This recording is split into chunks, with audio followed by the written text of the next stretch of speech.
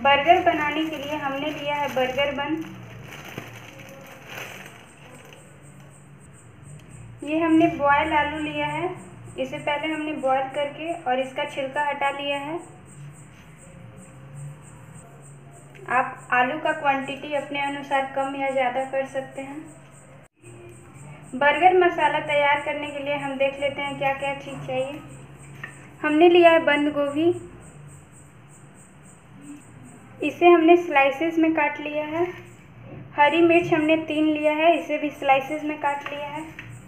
तीन प्याज को हमने बारीक काट लिया है। अदरक लहसुन का पेस्ट लिया है हमने।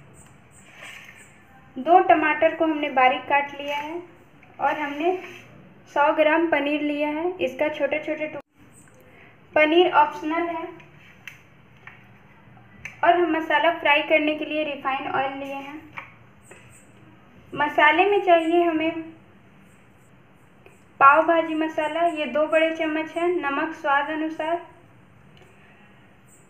एक छोटे चम्मच लाल मिर्च पाउडर, आधे छोटे चम्मच हल्दी पाउडर। बर्गर बन को सेकने के लिए हमने लिया है बटर।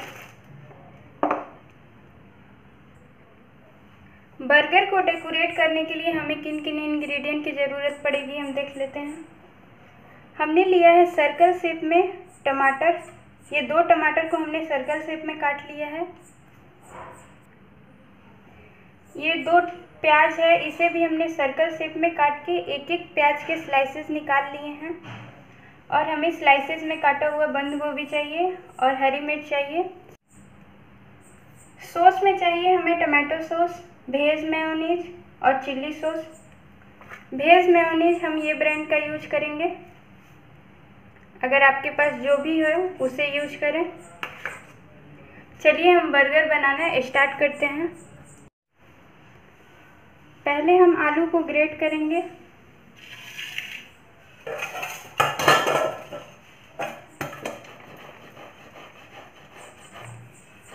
आलू ग्रेट करने से हमारा आलू में कोई लम्स नहीं रहता है, इसीलिए हम ग्रेट करते हैं।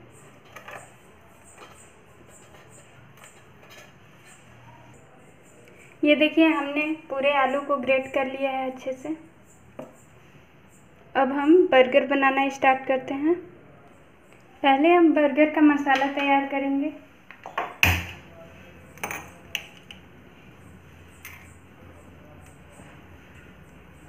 कढ़ाई हमारा गर्म हो गया है। अब इसमें हम रिफाइन ऑयल डाल देंगे। ऑयल हमारा गर्म हो गया है। पहले हम पनीर को फ्राई करके निकाल लेंगे।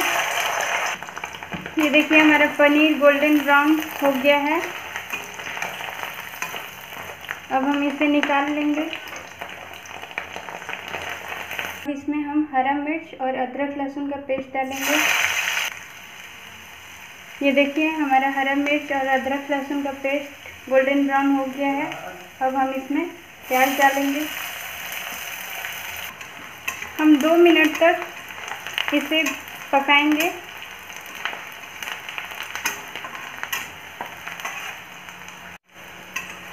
प्याज को हम दो मिनट तक फ्राई करेंगे। दो मिनट हो गया है। प्याज हमारा फ्राई हो गया है। अब इसमें हम बंद गोभी डाल देंगे। इसे भी दो मिनट तक फ्राई कर लें। दो मिनट हो गया है। अच्छे से फ्राई हो गया है। अब इसमें हम कटे हुए टमाटर डाल देंगे।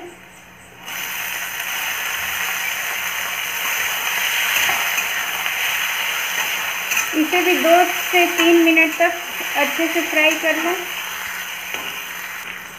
दो मिनट हो गया है, अब इसमें हम स्वाद अनुसार नमक डाल देंगे।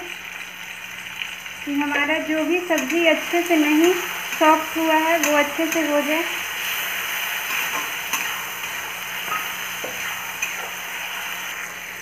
ये देखिए, एक मिनट हो गया है, हमारा अच्छे से सारा सब्ज़ी सॉफ्ट हो गया है।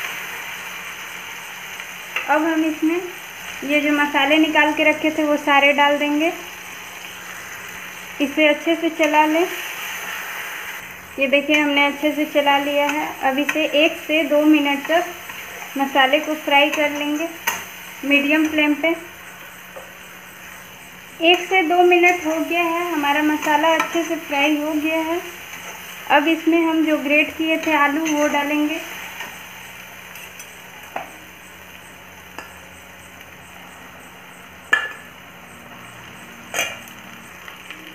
इसे हम अच्छे से मिक्स कर लेंगे।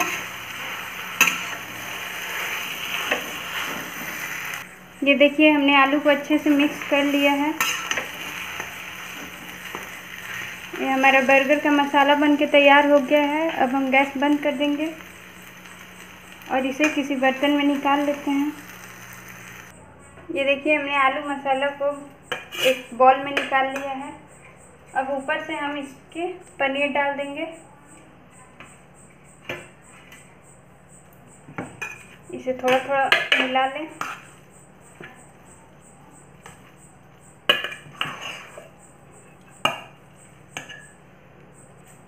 अब हम बन को बीच से कट करेंगे।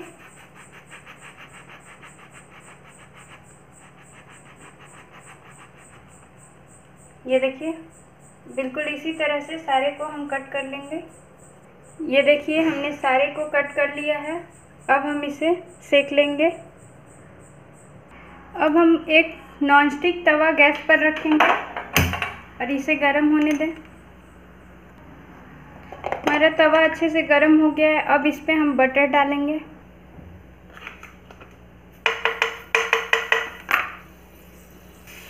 फ्लेम को हम एकदम लो रखेंगे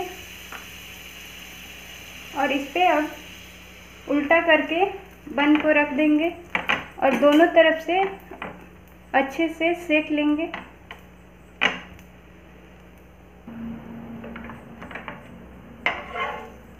ये देखिए, बिल्कुल हम ऐसे ही दोनों साइड से अच्छे से सेक लेंगे। ये देखिए, हमारा हो गया है। अब हम सारा को ऐसे ही मीडियम फ्लेम पे सेक लेंगे। हमने सारे बन को अच्छे से सेक लिया है। पहले हम दो बन का बर्गर बनाएँगे। चलिए, हम बन को डेकोरेट करते हैं। पहले हम सारे पे टमाटो सॉस लगाएँगे।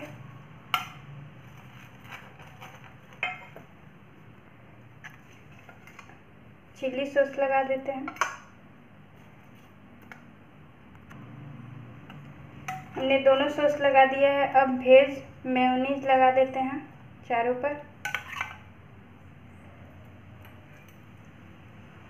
ये देखिए, हमने चारों पे भेज, मेयोनीज लगा दिया है। अब हम सिर्फ़ दो पे, जो इसका पीछे वाला पोर्शन है, ये हमारा पीछे वाला पोर्शन है, इस पे हम स्टफिंग रखेंगे, जो हम बनाए हैं। सिर्फ़ दो ही पे स्टफिंग रखेंगे, चारों पे ना रखें। ये देखिए, हमने दोनों पे स्टफिंग रख दिया है। अब इस पे हम टमाटर रखेंगे, जो हम सर्कल में काटे हैं। प्याज रख देते हैं।